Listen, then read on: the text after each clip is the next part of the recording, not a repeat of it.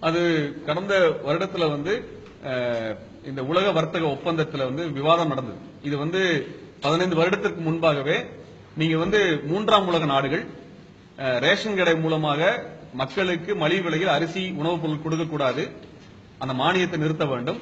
விவசாயிகளுக்கான மானியத்தை நீங்க நிறுத்திக் கொள்ள வேண்டும். நீங்கள் இறக்குமதி செய்வதற்கு அங்கு வெளிநாடுகளிலிருந்து உணவுப் பொருளை இறக்குமதி செய்வதற்கு அனுமதி கொடுக்க வேண்டும் என்கின்ற மூன்றையுமே மேற்குலக நாடுகள் வளர்ந்த நாடுகள் தொடர்ச்சியாக முன்வைத்துக் கொண்டிருந்தார்கள்.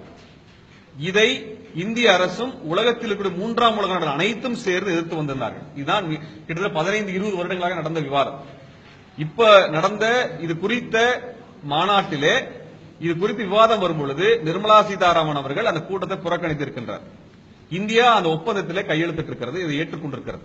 இந்த அடிப்படையில் ரெண்டாயிரத்தி பதினேழில் இருந்து நீங்க ஃபுட் கார்பரேஷன் ஆஃப் இந்தியா சொல்லக்கூடிய இந்த குடோன்ல அரிசியை சேமித்து வைப்பது என்பதோ கொள்முதல் செய்வது என்பதோ செய்யப்போவது இல்லை. விவசாயிகளுக்கு மானியத்தை நிறுத்தி விடுவார்கள். ஆனால் வெளிநாட்டில் இருக்கக்கூடிய குறிப்பாக அமெரிக்கா எடுத்துட்டோம்னா அமெரிக்காவிலே அந்த விவசாயிகளுக்கு மானியம் கொடுப்பதை அமெரிக்கா நிறுத்தாது.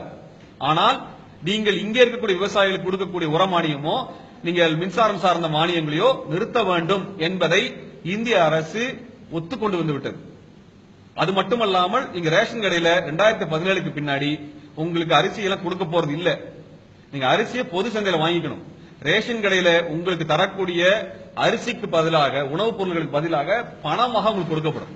எப்படி கேஸ் மானியத்தை கொண்டு வந்தாங்களோ அது போல அதுக்கு மானியம் கொண்டு வர போறாங்க இதுதான் இதுக்கான ஆதார் அட்டை கொண்டு வரப்பட்டிருக்கிறது. இதற்கு பிறகு ஏழை எளிய மக்களுக்கு குறைந்த விலையில் இது அரிசி கிடைப்பதற்கு வாய்ப்பு கிடையாது. இப்ப என்னன்னா நீங்க இங்க அரிசி உற்பத்தி பண்ணுவீங்க வெளிநாட்டிலிருந்து அரிசி இறக்குமதி செய்ய போறாங்க. அப்ப ரெண்டு பேர் இறங்கும் பொழுது அவர்கள் நம்மை விட மிக குறைந்த அளவிற்கு ஏன்னா வெளிநாட்டிலிருந்து ஒரு உணவுப் பொருளை கொண்டு வரதுக்கு ஒரு கிலோவுக்கு பதினஞ்சு பைசா தான் வருது. ஆக மிக குறைந்த விலையில் வெளியிலிருந்து கொண்டு வந்துட முடியும். இப்ப இங்க இருக்க விவசாயிக்கு விவசாய மானியம் இருக்காது. மின்சார மானியம் இருக்காது. உர மானியம் இருக்காது. எந்த விதமான உதவிகளும் தமிழ்நாடு அரசு இந்திய அரசு கொடுக்க போவதில்லை. அப்ப அதிகமான கடன் சுமையில தான் விவசாயம் பண்ணி விளைபொருளை கொண்டு வரணும். அதை இந்த அரசு கொள்முதல் செய்யாது. வெளிநாட்டிலிருந்து இறக்குமதி பண்ணி மொத்தம் விற்பாங்க. அப்ப இங்க இருக்கிற விவசாயிகள் தற்கொலை செய்து கொள்ளக்கூடிய சூழலை மோடி அரசாங்கம் கொண்டு வந்திருக்கிறது. இது மோடி அரசாங்கத்தின் மீதான குற்றச்சாட்டு மட்டுமல்ல இங்க பிரதான கட்சியாக இருந்த காங்கிரஸ் இதை குறித்து பேசவில்லை. பாராளுமன்றத்தில் மூன்றாவது பெரிய கட்சியாக இருக்கக்கூடிய அதிமுக இது குறித்து எதுவும் பேசவில்லை. இப்பொழுதும் அவங்க சொல்றாங்க உங்களுக்கு இருபது கிலோ அரிசி தரப்போறோம் முப்பது கிலோ அரிசி தரப்போறோம் நூறு கிலோ அரிசி தரப்போறோம் சொல்றதெல்லாம் பொய்.